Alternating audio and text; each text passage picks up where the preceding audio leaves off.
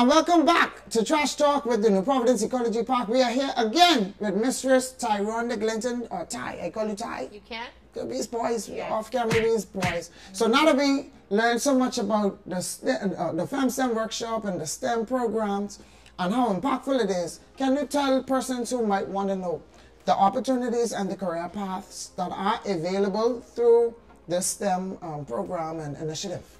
Yeah, so there are many career paths that are available in STEM.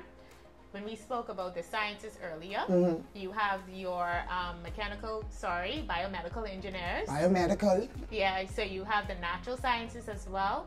You also, let's go on to technology side. We have the programmers, the developers. You have the IT professionals like me, who's like a project manager.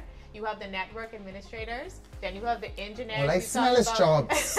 All I We smell talk is jobs. we talk about the envi- you got to get environmental engineer, industrial engineer, civil engineer. Then when we talk about maths, most people when you think about mathematicians as teachers. Maths Absolutely my thing. Yeah, but you have somebody who's an actuarial scientist who can use numbers. You have the data analytics person.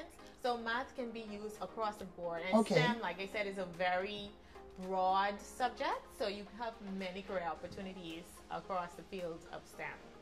That's actually very beautiful. Thank you so much. I hope you all hear that and, and start to dive into this, this industry because they need you. Thank you so much to these ladies for coming in and shedding light on the untouched gem that is the STEM industry. To our watching audience, stay tuned to the page to catch another episode of Trash Talk coming soon.